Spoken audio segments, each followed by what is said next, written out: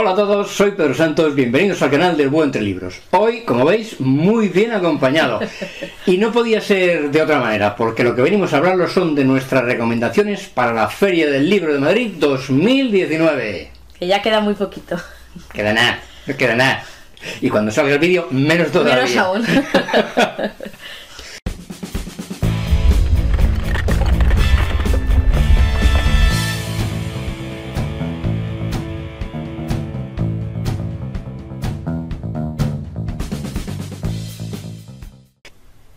No es por nada, no es porque seamos de Madrid, pero como la Feria del Libro de Madrid no hay otra en España. 17 días, 3 fines de semana completo, prácticamente todo el que ha escrito algo decente en este país está ahí firmando libros. ¿Qué más se puede pedir? Puedes ir un montón de días, elegir, firmar, maravilloso. Por eso las recomendaciones que os traemos aquí son de libros que se han publicado desde la Feria del Libro pasado hasta esta. Es verdad que quien estuvo con libro nuevo el año pasado y está en esta. Los hay. Hay gente que escribe, que escribe mucho. Y autores españoles, porque los extranjeros no podemos asegurar que puedan o no estar en la feria. Y otra advertencia que quiero haceros. Abajo en la cajita de información vais a encontrar un enlace. No es el de la feria del libro, es el del blog de lector a lector de nuestras amigas Concha y Bea, porque ahí es donde tienes la información actualizada de quién está y dónde está. El día que vayas, los blogueros que conocemos este tema, entramos en su blog y vemos en qué caseta, a qué hora, porque los propios autores la ponen al día. La página de la feria es francamente mala y no demasiado fiable. A lo mejor este año la mejoran, pero los anteriores... Todavía no había puesto nada y las editoriales ya estaban diciendo yo, ¡ay, ay, no confirman! No te cuento nada. Bueno, que vamos ya al lío. Al lío, que eh, vamos a contaros seis míos y seis de ella, aunque algunos coincidamos. Cada año que Víctor del Árbol saca un libro, es difícil que no sea mi mejor lectura del año. Y este año creo que no es la excepción. Antes de los años terribles.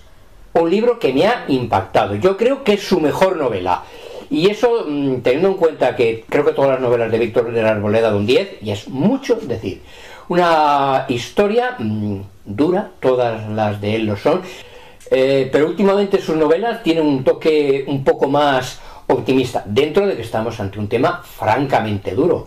Los niños soldados, no es, no es cualquier cosa. Nos lleva a Uganda y aunque parezca mentira, uno de los personajes de la novela, Joseph Kony, es real, existe y sigue existiendo, que aún no ha conseguido cargárselo y mira que lo ha intentado. Una lectura que os recomiendo y me consta que va a estar firmando, creo que el primer fin de semana está, pero lo miráis, lo miráis. Es mi lectura actual y me está encantando muchísimo. Es que yo también soy fan absoluta de Víctor del Árbol. y yo voy a recomendar uno que acaba de terminar hace nada y menos. La sospecha de Sofía de Paloma Sánchez Garnica. Eh, conocí a Paloma Sánchez Garnica, yo creo que fue con la última sonata, el primero que leí yo de ella. Y me gusta muchísimo cómo escribe. ¿La sonata Eh, silencio? Sí, ¿qué he dicho? La última sonata. ¡Ah! No soy el único que mete la pata. Y me gusta mucho. Además, una cosa que quiero decir porque es, es raro es que la sinopsis no desvela de más. Porque suele pasar y en este caso no. ¿No? Y eh, son tres los protagonistas, eh, Daniel, Sofía y Klaus. Y muy, muy buena la historia, porque ninguno es bueno, ninguno Es malo. es malo, pero todos hacen cosas un poco cuestionables. pero consigue que empatices con los tres. Y muy, muy recomendable. Además, mm, Paloma escribe de maravilla. Y creo también que, igual que la novela anterior no me gustó tanto, esta es su mejor novela, también para mí. Bueno, yo es que ahí ya no entro porque eso es más personal. Porque que te haya gustado más no quiere decir que sea mejor. No, pero yo creo que está, está más con- mucho más conseguida la historia. Además, los que la hemos leído opinamos un poco así. Que la anterior yo no la leí. Bueno, pues... Pero esta es muy, muy recomendable. Y yo voy a traeros un libro que se ha vendido como churros y que ha sido el premio Planeta del 2018. Yo, Julia, de Santiago Posteguillo. Para mí tiene un mérito tremendo y eso que esto es de sus libros más escribir novela histórica como la escribe él y leer los miles y miles de lectores que la siguen, que se atrapan. Es difícil contar una historia de novela histórica, ambientadas todas en, en Roma y que te atrapen de semejante manera que te la lees como un libro de aventuras, pero que está muy bien documentado. A mí yo, Julia, que seguramente sea una biología, me ha, me ha gustado. Me ha gustado esta historia protagonizada por una, por una mujer que le dice a su marido que tiene que ser emperador de Roma. ¿Y qué va a hacer él? Pues lo que mande Julia, ¿qué otra cosa? No te rías, que es verdad. Pues yo mi recomendación es Reina Roja de Juan Gómez Jurado. Para, hay que hacerle la ola. Pues, no sé por qué, pero yo te sigo. ¿Qué por qué? Ahora cuéntalo tú si no lo digo yo. Eh, es un libro que también está muy bien escrito, es un thriller que lo devoras. eh, en cuanto lo empiezas es que buscas un rato en cada momento de leerlo. A todo el mundo que yo se lo he recomendado le ha encantado y me dice, recomiéndame más de ese estilo.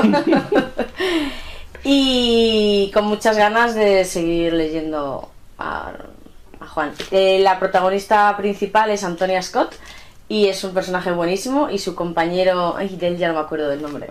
John. John, sí, pero eh, es que para los nombres soy muy mala. Yo también. Eh, hacen una pareja de policías que me ha gustado mucho. Bueno, que ya no es policía en verdad, pero no voy a decir más. Muy recomendable. Si os gustan los thrillers y si no os gustan también, tenéis que leer a Juan, que además va a estar en la Feria del Libro firmando y él es es de los que se queda hasta que firme el último, aunque sea firmando en un cubo de basura. Sí, pues según la feria del libro iba un día. Y eso no se lo cree nadie. No, seguro que irá. No, conociéndole. Y decía que hay que hacerle la ola porque mm, siempre ha sido muy bueno, siempre ha escrito muy buenos thrillers, pero aquí se ha superado y además, enhorabuena, ha conseguido vender muchos, muchos libros. Y eso a mí me alegra. Sí, sí, pero yo creo que también se nota la evolución. Sí. Que yo todo lo que he leído de él me ha gustado, pero aquí se nota la evolución, que está mucho más trabajado, todo más, no sé, es verdad que, que sí que me que si lees este y luego lees los otros no te van a gustar tanto lo mejor. Oh, te gustará. He dicho tanto. pues nada, Juan ha mejorado y Reina Roja. Y ahora me toca mi turno con Los Señores del Tiempo, de Eva García Sainz Durturi.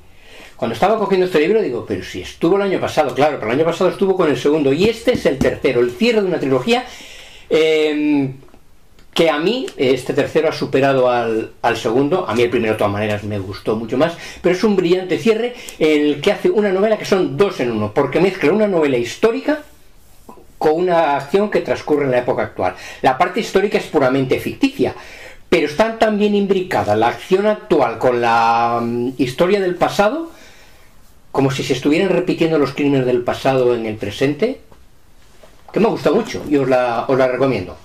Y, estará, y estará firmando. Yo la tengo pendiente, nunca encuentro el momento para empezar. Pero sí, ya me lo leeré en, en algún momento de este año. pues yo, ponte. Ay, que no lo cojo. Eh, ponte en mi piel de Emma Lira. Yo no había leído nada de la autora anteriormente y Yo me ha gustado muchísimo.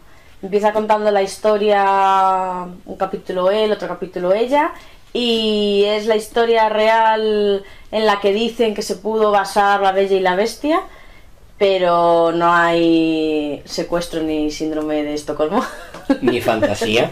ni fantasía. Y... De hecho, es una novela histórica. Sí, es una novela histórica. Eh, yo cuando lo iba leyendo iba queriendo saber más de la corte francesa de esa época, porque la verdad es que no conocía, o sea, conocía lo básico. Y veías algo y decías, va, esto no puede ser verdad. Lo ibas a mirar a internet y no, sí, sí, era real. Entonces me gusta mucho cómo ha mezclado la parte de ficción con la parte histórica real, eh, cómo ella además en un encuentro que tuvimos lo dijo, que ella lo que iba haciendo es rellenar las lagunas, porque el personaje existió, se saben cosas de él, pero claro, hay muchas lagunas que no. Y eso es lo que ella ha hecho en este libro y me, me ha encantado. Y creo lo que cuenta, porque hay una escena que dices, qué invención, en que la reina hace un agujerito en el techo para ver y espiar, qué bien se lo monta la amante. con el rey a ver si aprende algo de ella. Y es real. Eso es real. Y todas la- las luchas entre los protestantes y los católicos, que en ese momento es cuando estaban en pleno auge de matarse. Y de verdad, muy recomendable. Y el Petrus, el protagonista, es que le va a encantar a cualquiera que lo conozca. Y el rey Felipe II es muy malo, porque está contada desde el punto de vista francés, evidentemente, ¿cómo va a ser Claro. bueno? Así que otra recomendación que me ha encantado. Un libro que me ha sorprendido mucho, La hija de la española de Karina Sainz-Borgo. El tema de Venezuela está muy de moda y esto nos cuenta la realidad de Venezuela. La realidad de que todo el que puede escapar de allí está escapando. Los que consiguen un pasaporte para España y los que no intentando atravesar las fronteras, porque allí ya no hay quien siga. De hecho, Venezuela ha pasado de estar en los primeros países de riqueza de Hispanoamérica a estar el cuarto por abajo y bajando. A este ritmo consigue sobrepasar a, Jamaica que a Haití y eso ya es mucho decir. Os lo recomiendo, una historia que me ha gustado e imprescindible para saber cómo está la realidad en aquel país. Pues me lo leeré. Léetelo, de verdad que es muy buen, muy buen libro. Y cortito además, tampoco se, se va por las ramas. Mi siguiente recomendación es La cocinera de Castamar, que no tengo aquí el libro. Eh, es, también, bueno, no es histórica, pero está basada en el siglo XVII, creo. Luego lo comprueba el buito. Yo creo que es más cercano, creo que es el XVIII o el XIX. No, 19 no. Luego lo miramos. Luego lo dice el búho. sí, que hoy no le estamos dando trabajo. Y, y la verdad es que la manera de narrar del autor me, me gustó mucho. Enseguida te mete en la historia. O sea, tiene por una parte como aventura, pero por otra parte la manera de contarlo y la manera de ser de los protagonistas es como muy... No se iba a decir dulce, pero no es la palabra exacta. Y luego tiene eso, muchas tramas que se van uniendo y de aventuras en algún momento se vuelve un poco folletinesco, como dice mi madre, pero a mí me encantó, así que... Eso no es malo. Los folletines se vendían muy bien. Y también me gustó mucho cómo estaba escrito y los protagonistas me encantaron. Y que en Follet es muy folletinesco también y se vende muy bien y todo el mundo dice que es muy bueno. Así que deseando leer más del autor. Javier Castillo, todo lo que sucedió con Miranda Huff. No es el mejor thriller que ha leído este año, pero tiene que estar aquí presente. ¿Por qué? Pues porque lleva mm, semanas y semanas, ya van por lo menos siete a la fecha de hoy como número uno en ventas. Las colas que se organizan para que le firmen los libros, el año pasado eran grandes, este año yo no sé hasta dónde irán a dar la vuelta, ni si realmente tendrá como, como hablar un ratito con cada uno y este año era ¡uh! De todas maneras, es un thriller en que ha superado sus dos novelas anteriores y, se lee francamente bien. Yo he leído alguno mejor este año, pero este lo podéis leer también y os gustará. ¿Tú no has leído ninguno? Sí, el, día que se perdió la cordura. Cierto. Me queda la segunda parte, el día que se perdió el amor, que está, está por aquí. Este es independiente, ¿eh? este se puede leer sin haber leído ninguno de los anteriores. Pues nada, a ver con cuál me animo primero.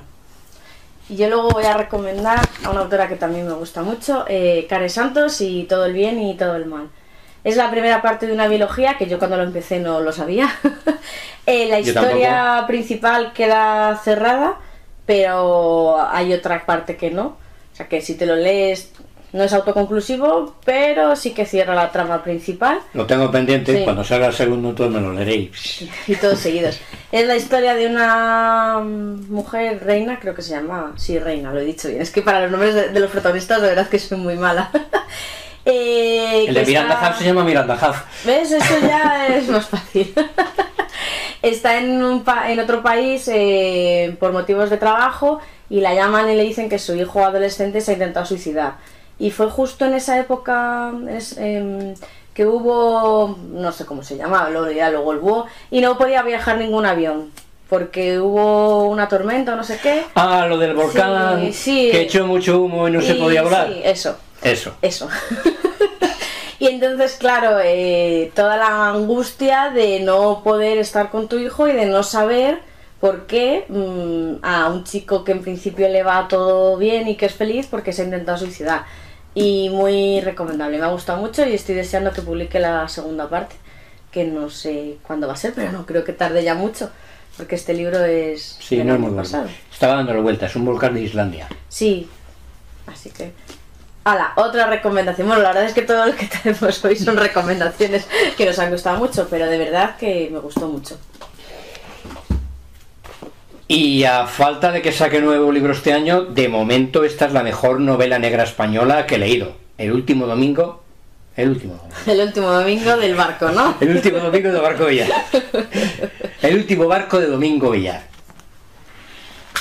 Se lee mm, con rapidez, o sea, está tan bien escrito que aparentemente no nos está contando nada y, uy, vas pasando páginas y te vas metiendo en toda una investigación policial. Es la tercera novela que tiene como protagonista Leo Caldas.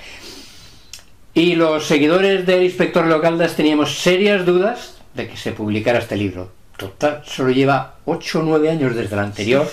Decíamos, ya no, ya no, ya no, ya no. Y lo ha publicado. Y además, no voy a decir que mereció la pena la espera, porque, hombre, no la puedes tener 8 años. Pero el libro está francamente bien. Y digo novela negra española porque en extranjera mm, no la traigo, pero es La frontera de Don Winslow que me ha impresionado y de paso ya sí la hago. Lo digo, pero en española, a falta, insisto, de ver qué nos saca Don César este año para allá, para octubre, noviembre, a ver qué tal todo lo peor. Sí. Se llama el libro así, todo lo peor. No ha salido, pero se llama todo lo peor. Así que cuéntanos tú todo lo mejor. Sí, porque yo justo mi última recomendación es Todo lo mejor de César Pérez Gellida. Lo conocí eh, con Memento Mori, que fue su primer libro, por la por una es, mm, ay, lo sacó el país, por una Sí. colección, joder, que no me salía la palabra, por una colección que sacó el país y gracias a eso lo conocí En verano. y me he leído todos sus libros y me encanta muchísimo cómo escribe. Eh, si no has leído nada de él, no pasa nada porque es independiente. Tiene a un personaje que sale en su primera trilogía, pero en su juventud, entonces no tiene nada que ver. Así que si no conoces a César, te recomiendo que empieces por este libro. Un personaje que Y- junto con el protagonista Ram- Sancho era, era lo mejor. Es que tenía unos diálogos brutales. Aquí no está más que él, pero bueno. Y, Bueno, y alguien más. Y mezcla, no hagas spoiler, y mezcla espionaje con novela de misterio, o sea, policíaca. Y, y me ha encantado. El principio he, de decir que me costó un poco meterme, eh, a lo mejor también porque no conocía mucho de la Alemania de esa época cuando estaban sí, porque no divididas es, en no es dos. tan difícil. Y me costó un pelín, pero una vez que te metes es que eh, una trama muy bien construida que se va enlazando la parte de espionaje con la parte de asesinatos de niños y mm, buenísimo. Este, los espías vuelven a estar de moda. En este año y en el pasado han salido. Fijaros que aquí os hemos hablado de dos novelas tienen espías. que tienen espías. Y he leído alguna más este año y alguna más que tengo pendientes. O sea, Y eso, a finales de este año ya sale todo lo peor que estamos deseando, Deseando. leerlo, sí. y ya está. y ya está. Sabemos que viene el segundo fin de semana de la feria. Sí, el del 8 No sabremos si vendrá algún día más, pero bueno. ¿Qué os ha gustado? ¿Queréis ir a la fiera? A la fiera. Sí, aquello. Hombre, al lado estaba la casa de fieras del retiro. Que yo sí le he conocido, aquellas jaulitas. Bueno, un recuerdo entrañable de, de Madrid de una época que ya no, no existe. Seréis todos bienvenidos. Si venís de fuera, no os lo perdáis. Tenéis que venir a la Feria del Libro, que os invitamos. Eso sí, una advertencia, puede hacer o mucho calor o llover, porque siempre pasa. Así Oh, que venid no. preparados. Oh no, las ferias del libro de Madrid siempre, es verdad que son dos semanas, siempre hay una tormenta, siempre. Por eso, O dos o tres. Depende del día que vengas, puede hacer mucho calor o puede llover. Oh, mucho calor y llover. Ya ves, Que la última vez. Nosotros estaremos allí, si Dios quiere, el primer sábado, el día 1. 1 o 2 de junio. no 1 sé. 2 de junio. Si nos encuentras, nos dices hola. Como no te conoceremos, que ya me pasó el año pasado, me dices, es que yo. Digo, ah, vale, perdona, yo. Vosotros me veis, yo no os veo. No, además mi padre os puede conocer, pero no reconoce, porque le pasa mucho también. Y si no te quieres perder ninguno de mis vídeos, ya sabes, suscríbete y le das a la campanita y te llegan todos mis vídeos. Y así nos vemos. Hasta pronto. Adiós.